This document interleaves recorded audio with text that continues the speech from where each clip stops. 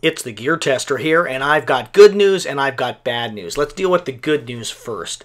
March 2020 was an amazing month for my YouTube channel. I got more views, more subscribers than I have in one month or a uh, one 30 day period than I have in the last seven and a half years of my YouTube channel. And I am supremely grateful to you, my valued viewers and subscribers, for making that happen. Thank you so much.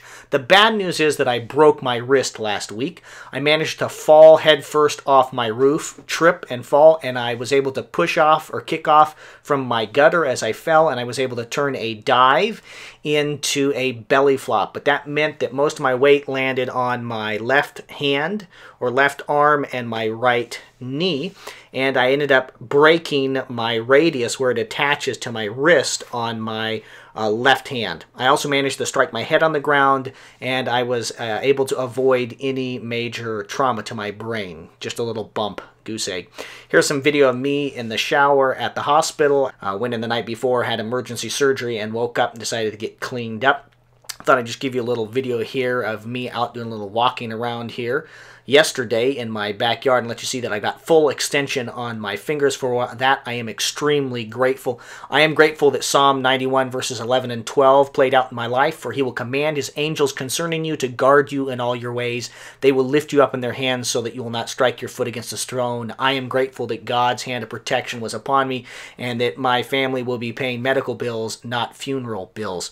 I've got some cool videos that are in production and I've got most of the filming already done that I just need to do introductions and conclusions for. This is a Perception kayak that I've enjoyed using here and look forward to reviewing for you. I've got a Ruger LCR and 22 long rifle that I really like that I've had for about a year.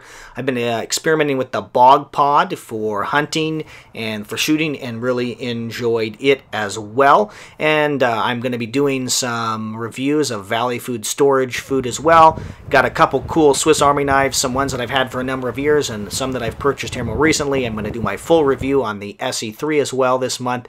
And I played around some with a SIG uh, P365. Thank you guys so much for your views and your subscriptions. Thank you so much for making March 2020 an amazing month for my channel, and I hope that this next month, April, will be awesome as well. Thank you very much for your views and your subscriptions. This is the Gear Tester signing off.